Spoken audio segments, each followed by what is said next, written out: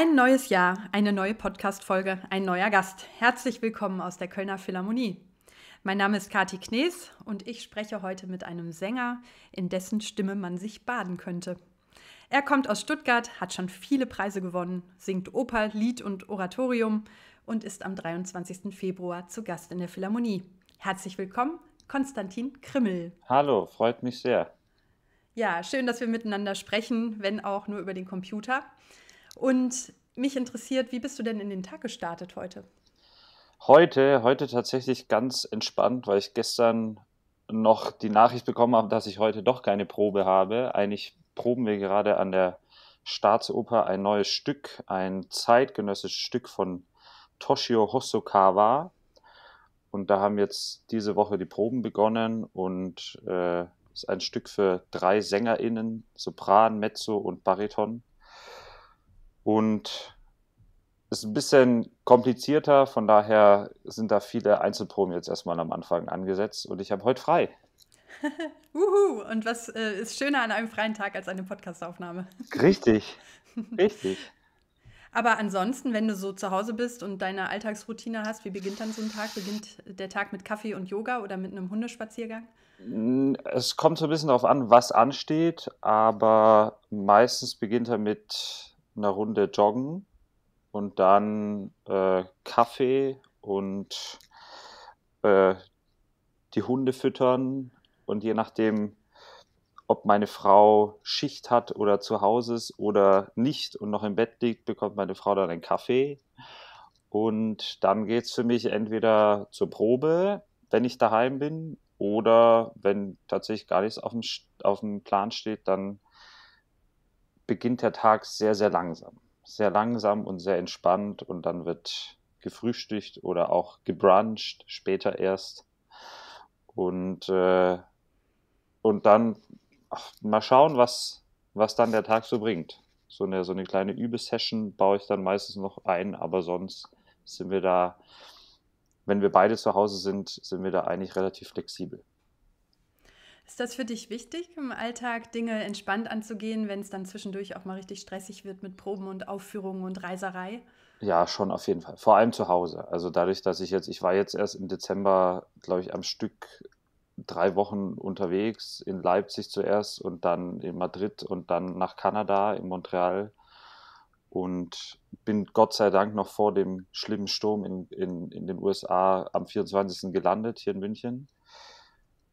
Und dann zu Hause zu sein und einfach wirklich auch nicht unbedingt irgendjemand sehen zu müssen, treffen zu müssen, sondern einfach zu Hause zu sein und die Ruhe zu genießen und den Tag so ein bisschen selbst zu planen oder auch mal nichts zu planen. Also wenn ich zu Hause bin. Deswegen genieße ich auch sehr die Opernproduktion daheim, weil sechs Wochen oder vier Wochen zu Hause zu schlafen ist dann doch ein sehr großer Luxus in unserem Beruf. Und ja, das ist doch sehr, sehr entspannt, einfach diese, diese Zeit zu wissen, okay, ich habe jetzt vier Wochen vier Wochen oder sechs Wochen zu Hause. Das ist sehr, sehr angenehm. Zu Hause bedeutet Bayerische Staatsoper für dich. Genau, oder? genau. Ja. Zu Hause bedeutet München und Bayerische Staatsoper. Und deine ersten Schritte oder deine ersten Töne hast du aber als Chorknabe gesungen, glaube ich. Wann hast du denn für dich zum ersten Mal festgestellt, hey, irgendwie kann ich richtig gut singen? Gab es so einen Moment? Also, dass ich es dann wirklich angefangen habe zu studieren, dass der Moment kam sehr spät. Ich habe hin und wieder ähm, als Knabe mal so kleinere Solo, Soli bekommen und ähm, habe tatsächlich mein, mein erstes großes Solo, da habe ich noch die Widmung drin, ähm, war der Knabe im, im Elias. Und das gab es immer mal wieder. Ich habe allerdings nie so richtig den Plan verfolgt, ähm, das auch wirklich beruflich machen zu wollen, sondern das war immer Hobby ein sehr schönes Hobby, gerade im Knabenchor. Also jeder, der im Knabenchor groß geworden ist, wird es, wird nachvollziehen können, dass das eine sehr, sehr schöne Zeit ist, auch das vom, vom ganzen sozialen Aspekt her. Und Instrumente gespielt, Klavier, Fagott, ein bisschen Trompete, aber alles immer so hobbymäßig. Und dass sich das dann wirklich herausstellt, okay, da könnte jetzt wirklich was sein, was Brauchbares sein, was man ausbilden könnte. Das war tatsächlich erst ähm, so ein Jahr vorm Studium, als ich dann im Extrachor in Ulm gesungen habe, am Theater. Und mir da, nachdem es mir auch schon meine ehemalige Gesangslehrerin und mein Chorleiter aus dem Knabenchor gesagt hat und dann auch nochmal der Chorleiter aus dem Extrachor gesagt hat, hey, das ist gutes Material, hast du nicht Lust, könntest du das nicht überlegen, probiert es doch mal. Und ich hatte sonst jetzt nicht groß irgendwie was anderes Wichtiges auf dem, auf dem Berufsplan, so dass, dass ich das unbedingt verfolgen müsste. Also habe ich das versucht und habe mich da auf die Aufnahmeprüfung vorbereitet und das hat funktioniert. Und jetzt darf ich in München auf der, auf der, an der Staatsoper auf der großen Bühne singen. Also es ist äh, immer noch, immer noch ein, ein kleiner, surrealer Traum. Hat das denn auch mit dazu beigetragen, dass du gar nicht so diesen fixen Plan hattest, dass du dann auch, mh, hm, naja, nicht verkrampft warst, jetzt dabei Karriere zu machen, sondern das, das ist dann einfach so passiert? Vielleicht auch gerade, weil du entspannt warst. Ich glaube schon, ja. Ich glaube, so ein bisschen ist das bei mir zumindest das Geheimnis, ähm, dass ich kannte auch ganz vieles gar nicht. Also sowas wie Weihnachtsoratorium oder die Passion von Bach oder auch die ganze Liedwelt, das, das kannte ich vor dem Studium gar nicht. Also ich habe von meiner ersten Gesangslehrerin in Ulm, habe ich mal eine CD von Fritz Wunderlich bekommen und das war auch, das war auch toll, die habe ich auch gerne gehört, aber das war jetzt nicht was, wo ich mir dachte, oh, das ist, ein, das ist ja unfassbar und jetzt äh, eröffnet sich da mir eine ganz neue Welt und ich muss das unbedingt verfolgen, auch, auch mit meiner, mit meinem eigenen Leben und mit meinem eigenen Berufs Wunsch, sondern das, die CD ist dann ab, ab und zu gelaufen zu Hause und ich habe erst im Studium dann diese ganzen wundervollen Werke kennengelernt und, und vor allem die Liedwelt kennenlernen dürfen und lieben lernen dürfen. Und ja, wahrscheinlich ist es tatsächlich so wahrscheinlich ist es tatsächlich so das kleine Geheimnis, dass ich einfach davor sehr unbedarft an diese ganze Sache ran bin und, und sehr vieles erst später kennenlernen durfte. Als sich dir dann diese Liedwelt und die Opernwelt erschlossen hat, das ist ja ein unfassbar weites Feld. Was gab es da so für Schlüsselmomente, die dich bestätigt haben, ja, das ist genau der Weg, den ich jetzt weitergehen will? Gab es da Rollen, die dich total umgehauen haben oder gab es konkrete Lieder, die dich so emotional berührt haben? Also was, was die Oper angeht, tatsächlich noch im Extrachor in Ulm in dieser Zeit, weil ich da plötzlich stand ich auf der Bühne. Meine erste Oper, die ich da im Extrachor gesungen habe, war Othello und dann stehe ich da auf der Bühne mit Maske und Kostüm und singe auswendig mit 40 anderen ähm, sehr laut singenden SängerInnen ähm, eine, eine Oper und das hatte ich davor, das kannte ich davor nicht. Also generell diese ganze Opernwelt. Das war sicherlich für die Oper so ein Schlüsselmoment, wo ich mir gedacht habe, oh, das ist aber, das ist aber schon irgendwie toll. Also das ist schon irgendwie, das macht Spaß und, und beim Lied hat sich so ein bisschen herauskristallisiert dann, dass ich gerne Geschichten erzähle. Und dass mir vor allem die ganzen Balladen, sei es Löwe, Schumann, auch von Schubert so ein bisschen, dass ich diese Balladen sehr, sehr gerne erzähle, dass ich diese Balladen auch selbst sehr gerne durchlebe, so ein, so ein, so ein Belsazar, dieser völlig wahnsinnige König oder auch so ein, so ein Herr Oluf von Löwe, dass es mir einfach wahnsinnig viel Spaß macht, mich da reinzuversetzen und dann mit Hilfe des, des Pianisten und mit Hilfe des Klaviers, der Stimme des Klaviers, einfach so eine, so eine Welt zu erschaffen in fünf, sechs, sieben Minuten, äh, wo am besten die Leute danach rausgehen und sich denken, oh, das war, das war toll, äh, da möchte ich mehr von hören.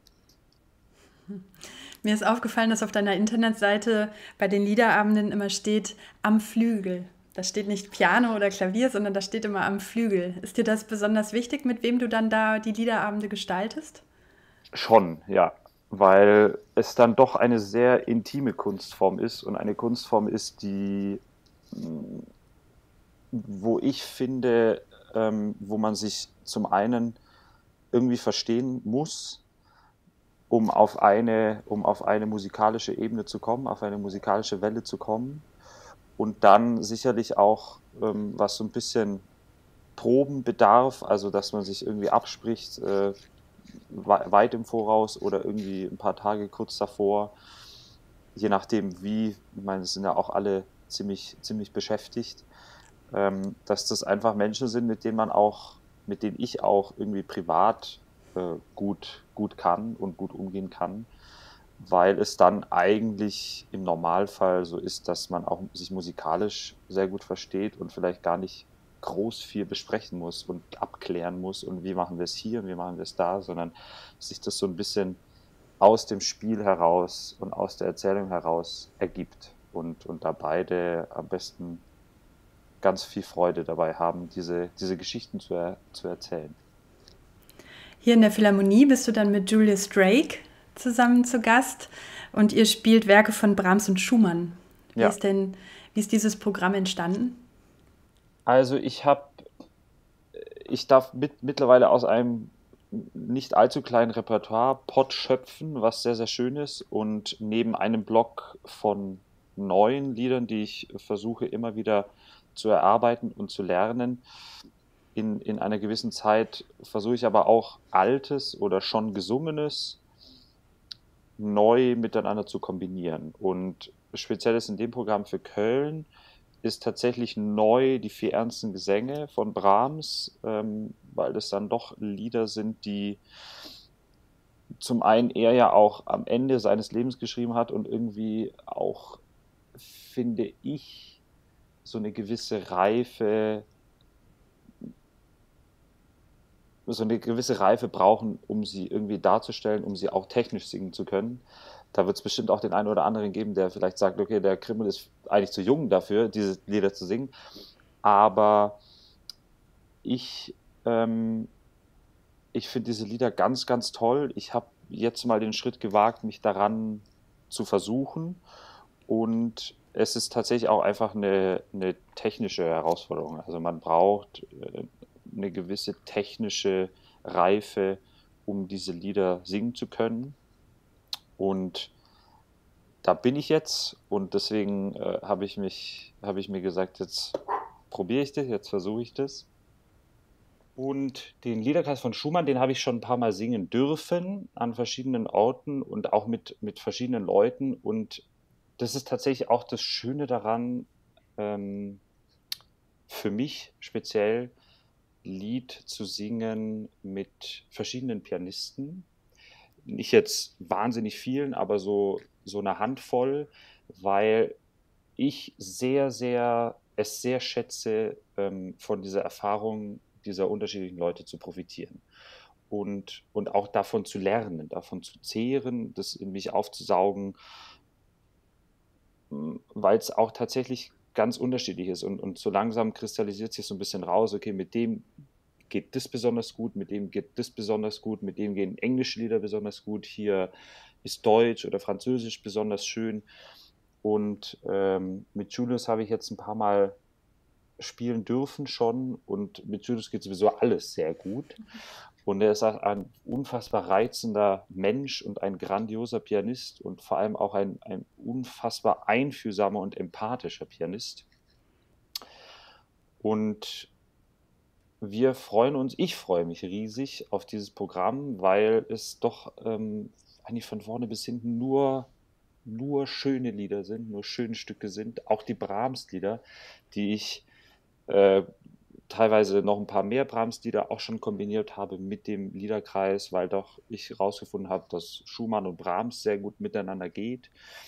Und ähm, ja, also es sind einfach, es, ich freue mich riesig auf dieses Programm.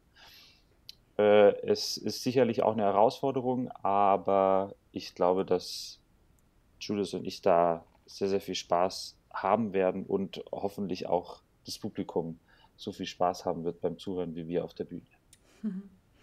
Wenn du dich dann einem neuen Stück annäherst, wie jetzt den vier ernsten Gesängen, wie kann ich mir das vorstellen? Also, weil man kann ja als Sänger jetzt nicht acht Stunden am Tag singen. Ist das für dich auch viel so mentale Beschäftigung mit dem Stück, ohne dass du dann die ganze Zeit beim Üben auch singst? Na, es ist vor allem viel, also Text lernen erstmal. Ich habe auch während der Corona-Zeit ähm, habe ich, oder ist ja immer noch so ein bisschen irgendwie, aber während der Hochphase äh, wahnsinnig viel Texte gelernt. Also ich glaube, hätte mir irgendjemand vor Beginn der Pandemie gesagt, okay, du wirst jetzt in den nächsten anderthalb Jahren 80 Gedichte lernen, dann hätte ich dem wahrscheinlich den Vogel gezeigt. Aber so ungefähr kam es dann so hin. Ähm, und das ist natürlich auch so ein bisschen so, also meine Herangehensweise ist, ist immer vom Text aus. Also schauen, was, was ist der Text, was, worüber geht der Text, was ist der Inhalt des Textes, was ist die Aussage des Textes und dann sich vielleicht ab und zu hier und da mal eine Aufnahme anzuhören von unterschiedlichen Leuten, aber dann eigentlich auch sehr schnell zu singen, sehr schnell zu versuchen, Spezielles bei mir, weil ich gemerkt habe, dass mir dann doch auch Textlernen dahingehend einfacher fällt, wenn ich es kombiniere mit der Musik, als rein nur den Text zu lernen.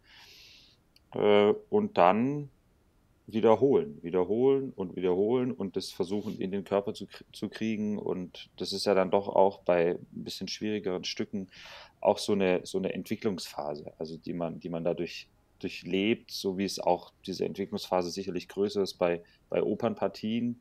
Nicht, also nicht, also nicht, kommt ja nicht von ungefähr her, dass, dass äh, Wagner-SängerInnen irgendwie mit ihren Partien ein Jahr im Voraus beginnen, weil das einfach eine gewisse Zeit braucht, dass sich die Musik setzt und dass man die Musik, dass es sich dann in der Vorstellung oder im Konzert nicht so anfühlt wie, okay, habe ich ja schon mal gesungen irgendwann, sondern dass, dass, ich so, dass es sich so sehr setzt, dass sich das Unterbewusstsein quasi eigentlich das Hirn ausschalten könnte und das Unterbewusstsein das, das alles macht und das von selbst fließt. Und so ist es beim Lied bei mir auch, dass ich auf der einen Seite den Text habe und den Text lerne und dann aber sehr schnell in die Musik einsteige und dann üben, üben, üben und wiederholen. Hast du da Tipps und Tricks fürs Auswendiglernen? Nicht so richtig. Also ich habe von unterschiedlichen KollegInnen gehört, die gehen spazieren, die laufen auf und ab und im Kreis in der Wohnung oder irgendwie sowas.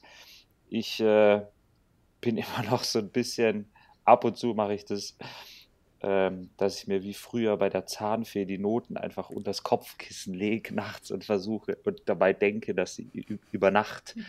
der Text in meinen Kopf fließt.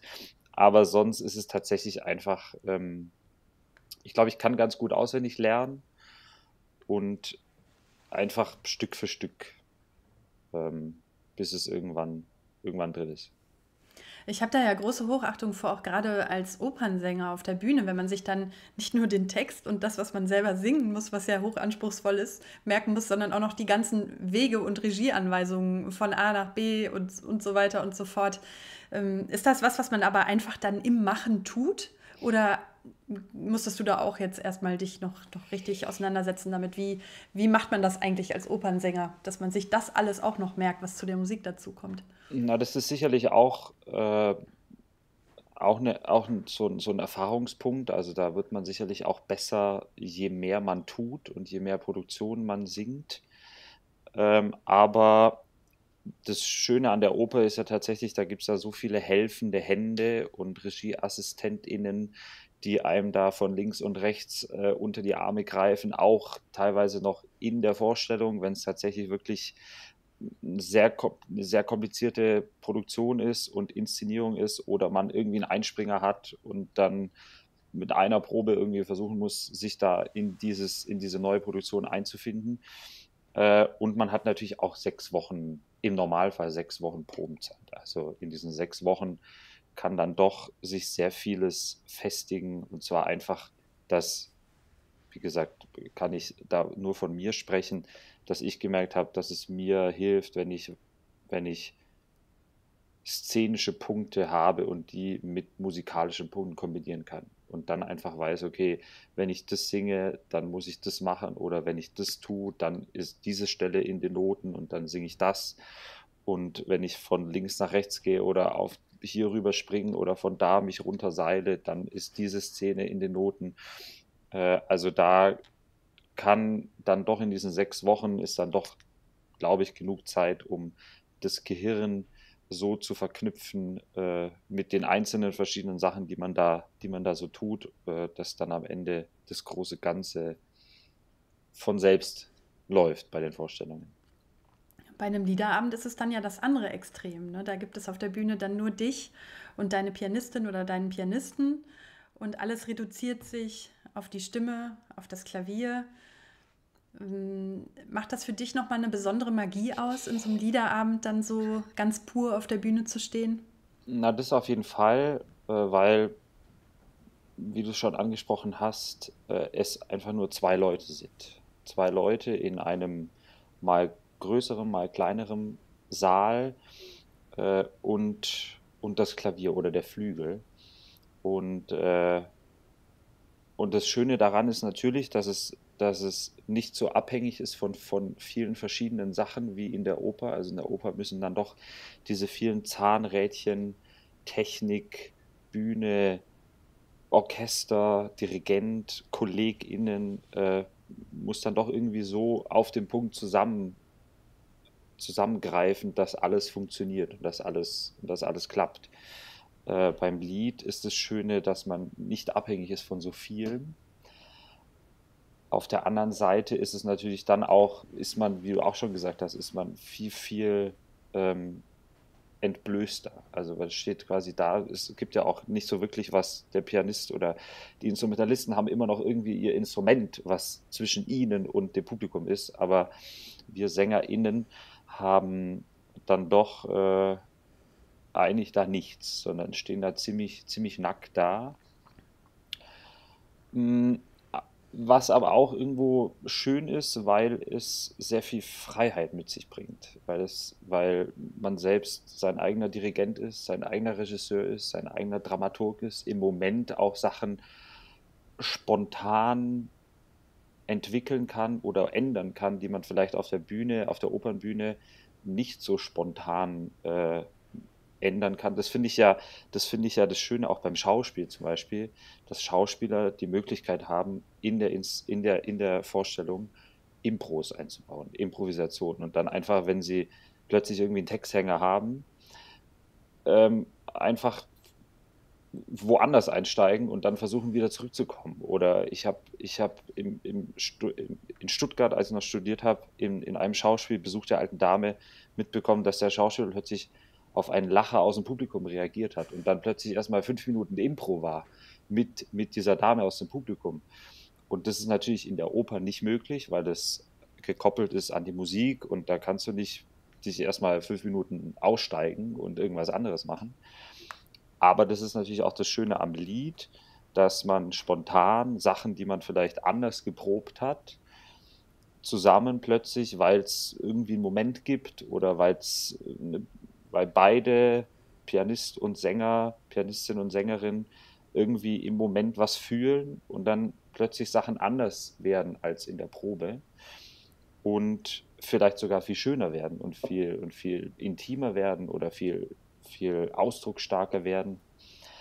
Ähm, und das ist natürlich dann wiederum das Schöne an dieser kleinen intimen Kunstform, dass man einfach diese Möglichkeit und diese Freiheit hat. Du hast ja vorhin erzählt, das hat sich einfach so ergeben. Das war jetzt gar nicht so der feste Plan, äh, beruflich eine Gesangskarriere aufs Parkett zu legen, sondern ja, das, das hat sich richtig angefühlt und dann hast du es immer weitergemacht und hattest den entsprechenden Erfolg. Denkst du denn manchmal zurück und überlegst so, hm, was hätte ich denn sonst noch machen können? Oder gibt es noch andere Interessen, die so, die dein Leben ausmachen, abseits von der Musik? Ach, bestimmt. Also ich hätte, ich bin, äh, ich glaube, hätte das nicht funktioniert, dann wäre ich jetzt vielleicht Schreiner. Weil das, was ist, ähm, dieses Element Holz, was mir sehr viel Freude bereitet, damit zu arbeiten. Ich äh, träume von einem Hof irgendwann mal. äh, von einem Hof mit, mit Tieren, ganz unterschiedlichen Tieren, die da ihren Lebensabend genießen dürfen und so lange da sein dürfen, wie sie wollen. Und ich habe äh, jetzt erst neulich, weil meine Frau 20 Jahre lang geritten ist ähm, und meine und ihre Schwester, meine, meine, meine, meine Schwägerin, äh, das dann doch sehr, doch sehr professionell auch verfolgt und äh, mit einem eigenen Pferd. Und da saß ich jetzt vor, ja, jetzt knapp, nee, vor einer Woche, saß ich da äh, mal wieder. Ich habe das in Rumänien, meine Mutter ist aus Rumänien und da habe ich das mal probiert, allerdings ohne jegliches Equipment, also nicht zu empfehlen, sich einfach so blind auf ein Pferd drauf zu setzen. Aber da saß ich dann, da habe ich irgendwie diesen, diesen, dieses Hobby Reiten, diesen Reitsport äh, so entdeckt und bin da, also finde das ganz, ganz grandios, weil es, weil es unglaublich tolle Tiere sind, unglaublich empathische Tiere sind. Ich bin gern in den Bergen, Bergsteigen, Skifahren, Klettern, egal was. Äh, versuche irgendwie, wenn möglich, äh, jede jeden freien Tag, äh, den ich habe, irgendwie draußen und in den Bergen zu verbringen. Und also da gäbe es sicherlich, da gibt es sicherlich auch andere Bereiche, aber so wie es jetzt gerade ist und toi toi toi äh, geht es hoffentlich so weiter, finde ich das eigentlich ganz gut. So ist, äh, ich darf, ich darf, ich, ich sehe auch diesen, diesen Beruf gar nicht so richtig als Beruf. Also ich meine, ich darf, ich darf auf der Bühne stehen äh, mit wundervollen und grandiosen MusikerInnen. Ich darf wunderschöne Musik singen äh, und das an ganz tollen Orten. Und ähm, also so richtig Beruf ist es ja, sehe ich das zumindest nicht, sondern das ist einfach, das ist einfach ein großes Geschenk, dass ich das machen darf. Und und ich versuche das so gut, so gut wie es geht äh, und alles, was in meiner Macht steht, dem gerecht zu werden und äh, hoffe, dass das auch lange, lange so weitergeht und ich das lange machen darf. Wie schön. Was für ein schönes Schlusswort, lieber ja. Konstantin. Ich würde aber gerne noch ein kleines Spiel mit dir spielen. Okay. Und zwar nenne ich dir immer zwei Begriffe und dann musst du dich aus dem Bauch heraus für einen dieser beiden Begriffe entscheiden, der dir näher ist. Okay. Kopf oder Bauch? Bauch. Lied oder Oper? Oh. das ist gemein, Lied. ne? Lied tatsächlich. Mit Noten oder auswendig? Auswendig. Konzert oder Aufnahme? Konzert. Kino oder Netflix? Hm. Netflix. Skifahren oder Wandern?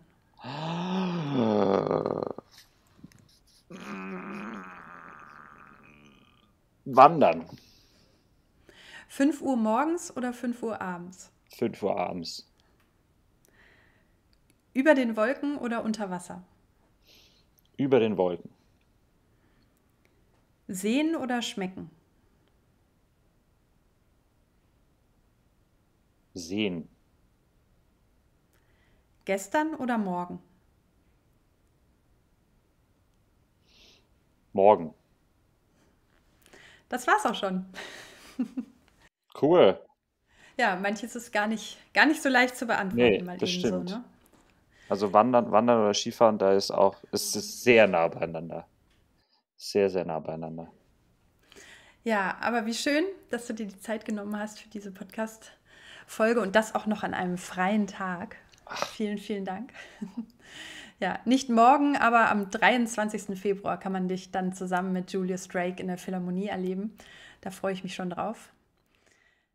Das war wieder eine Podcast-Folge aus der Kölner Philharmonie. Ich sage wieder vielen Dank und tschüss und bis bald.